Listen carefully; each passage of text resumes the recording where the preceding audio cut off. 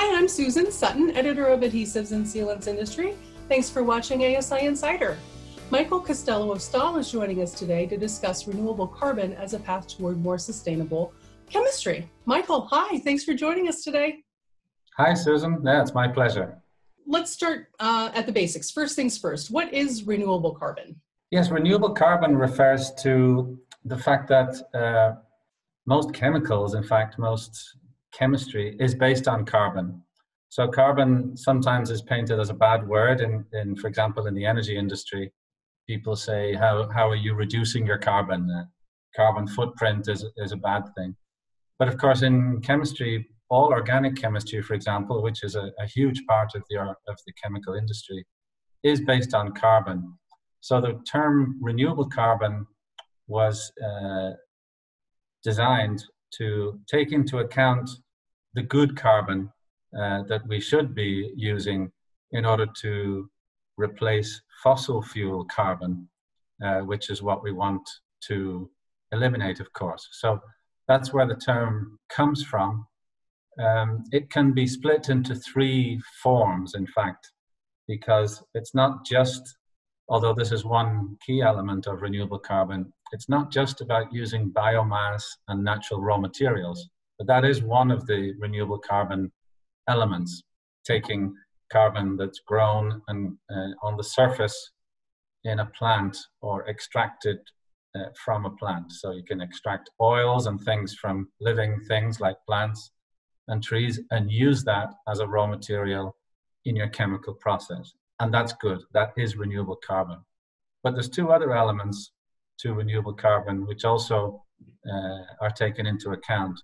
And one of them is this idea of carbon capture, where you have some exist, existing industries uh, on, on, the, on the earth, like the cement industry, for example. The cement industry produces CO2 as an effluent, as a byproduct, and you can actually capture that CO2, carbon dioxide, convert that into a form that can be used as a chemical raw material. So that's also considered renewable carbon because it's a good thing that you're doing. You're converting something that would be going into the atmosphere into something that can be used in a chemical. And then the third one is recycled plastics, recycled materials. So again, we're talking always about what we call uh, the geosphere above the surface of the earth. So anything that's already existing on the surface that could be recycled and reused and made into a raw material then that's the third element of renewable carbon. I think the best way to think of it is, is anything that comes from the surface of the earth rather than not using things that have to be mined and dug up and taken from the earth. That's the way I like to think of it. Yeah.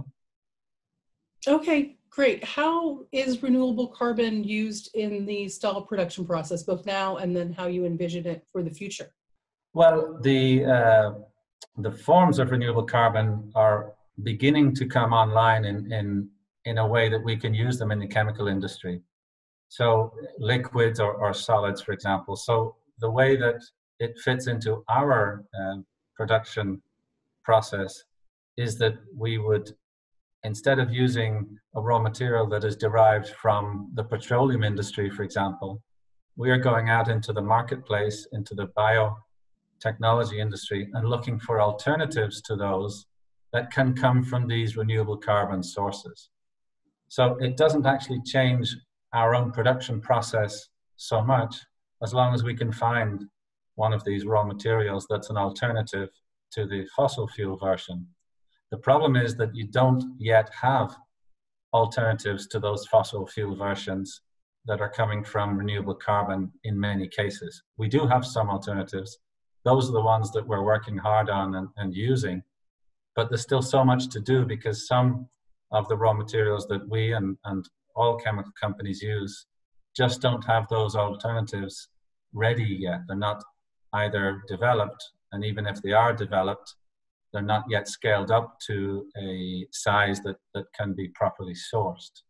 So it doesn't really change our process so much. The difficulty is getting the availability of those raw materials that we can already easily use and, and make into our chemicals. That, that's not really the, the issue. Yeah. Okay, I think that might lead a little bit into my next question. Stahl's joined the Renewable Carbon Initiative. Can you explain what that is and why your company decided to be involved with the effort? Yes, this is an initiative that was started by an institute, a research institute uh, in Germany called the Nova Institute.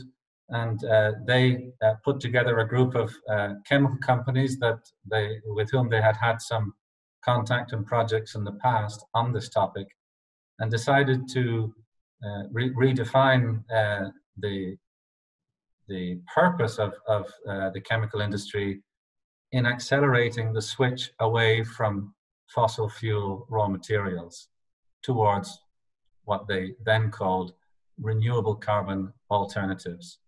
Because what we've seen in the energy industry is in, in many countries, uh, in Western Europe and, and the US, for example, quite a strong switch away from using fossil fuel energy sources. But the chemical industry has been lagging behind that, and that's going to get a little bit worse in the next 10 years as a percentage of the whole use of fossil fuels. The chemical industry portion of that total percentage is going to increase because the energy industry is already decarbonizing. So, this group of companies, led by the Nova Institute, got together uh, to form an initiative, which is really an awareness campaign. It's a, an awareness initiative. First of all, to explain what renewable carbon is, to explain to the world that yes, we can get our chemical raw materials from sources which do not deplete fossil fuels. But we need to accelerate that research so that the change can happen faster because we're running out of time. And that's really what the initiative is about. It's about promoting that awareness, getting as many big chemical companies involved so that that research into the fossil fuel alternatives can happen and give results faster so that companies like us and consumers then can benefit from uh, using these resources instead of depleting the fossil fuels, which of course causes CO2 that's been trapped in the earth for thousands and millions of years to be released and uh, causes the greenhouse effect and global warming. That, that's what this is about, of course? Climate change. What are some other activities that Stahl is um, involved in, in toward the goal of sustainable chemistry? Well, sustainable chemistry has many different elements. Uh, of course, climate change and reducing fossil fuels is, is one of them, but not, not the only one. And we're spending a lot of uh, investment uh, time and, and research on measuring our environmental footprint, not just the carbon footprint, which refers to this uh, climate change uh, impact. The overall environmental footprint includes your water footprint. It includes the uh, toxicity of, of chemicals that, that, you, that may be on the market. It includes the pollution that may be caused by the use of your chemicals further down the supply chain.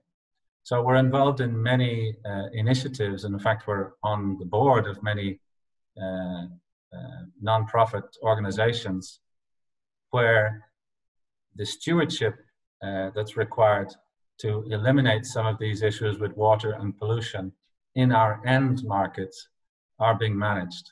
So we do many other things on sustainability related to that, not just focused on what we put into our chemicals, but on what happens to those chemicals and how we, as a responsible supplier, can make sure that what happens to those chemicals later on in our customers and in their customers can also have a limited environmental impact. One of the ways to do, to do that is to measure environmental impact using methodology like life cycle assessment. And that's another area where we're investing significant time. So the, I mean, this is my job. That's that's my uh, function in the company is to implement a sustainability strategy and and there's many many projects that we're working on to do that to try to reduce our impact and to try to uh, make the supply chain more transparent yeah? Well it sounds like you're a very busy man in pursuit of wonderful goals so thanks for taking the time to talk with us today. I really appreciate it. Thank you very much susan. My pleasure. And thanks again for watching. To learn more about Stahl and its activities, visit stahl.com.